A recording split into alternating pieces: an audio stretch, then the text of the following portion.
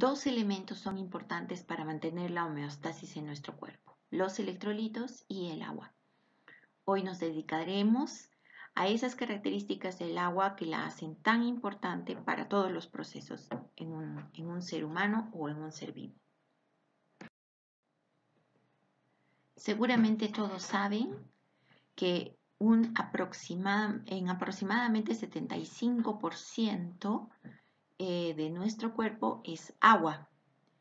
Y este agua cumple numerosas funciones, que es lo que estamos viendo en la imagen.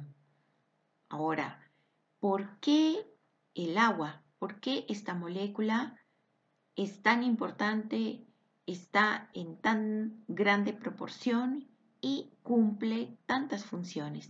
Quiere decir que el agua debe tener características especiales para que sea tan importante. Veamos cuáles son.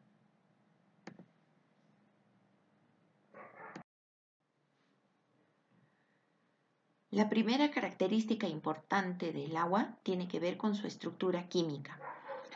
El oxígeno y los hidrógenos eh, se distribuyen en el espacio de una manera tal que provocan una distribución polar de sus elementos. Así vemos una zona de principal carga positiva y una zona de carga negativa. La consecuencia de esta distribución de cargas en el espacio eh, hace que el agua sea una molécula polar o, como vemos aquí en el título, dipolar. Y esta primera característica tiene después como consecuencia todas las propiedades importantes y particulares del agua.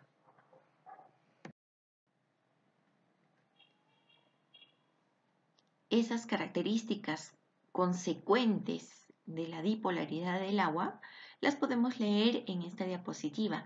Sin embargo, debemos resaltar en primer lugar que una molécula polar eh, se comporta como un imán, atrayendo la parte positiva a las partes negativas de cualquier otra molécula, como se ve en la imagen, y viceversa las partes negativas a las partes positivas. Con ella se crea todo eh, una conformación espacial de las moléculas y sobre todo algo que conocemos bastante bien del agua en relación a otras moléculas, que es el puente de hidrógeno. Entonces podemos decir que el agua contribuye a este equilibrio que debe existir entre todas las moléculas para que el cuerpo y sus reacciones químicas funcionen adecuadamente. Eh, por eso que ese equilibrio implica a todo el conjunto de mecanismos eh, químicos eh, que ocurren en nuestro cuerpo, que son además regulados y coordinados.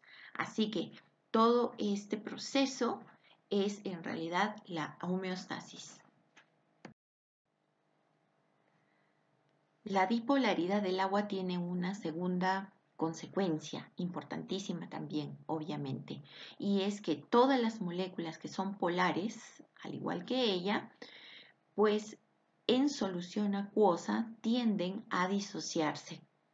Por lo tanto, en una solución acuosa nosotros podemos medir la cantidad de iones hidrógeno que contiene o la cantidad de iones OH negativos que están en exceso.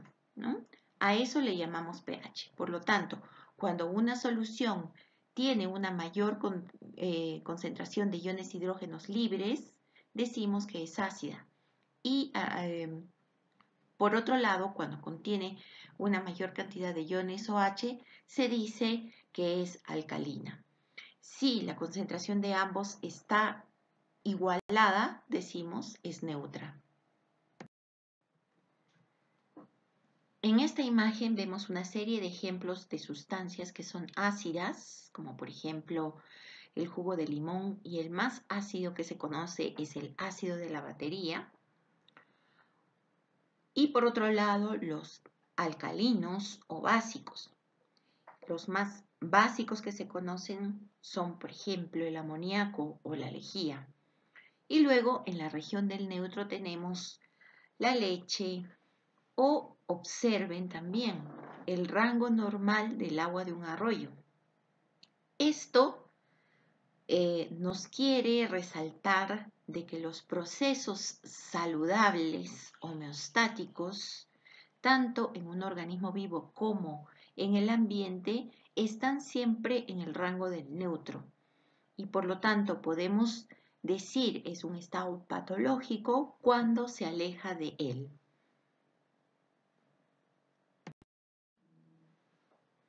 Por esta razón, y muy sabiamente, existen en nuestro organismo los llamados amortiguadores metabólicos, cuya función es precisamente mantener en el rango neutro o no exactamente 7, sino más bien 7.35, 7.38, eh, los procesos o las reacciones químicas en nuestro cuerpo.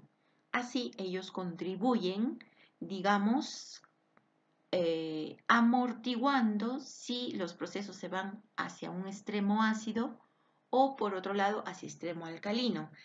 Tienden a mantener los procesos en el rango del neutro. Por lo tanto, el agua, debido básicamente a su estructura bipolar, contribuye de una manera muy importante al mantenimiento de dos cosas básicas. Uno, el metabolismo, a través de todas las reacciones químicas en las que interviene, y por otro lado al equilibrio u homeostasis, eh, implicándose también en los sistemas tampón o buffer que van a contribuir a su vez a la regulación del pH celular.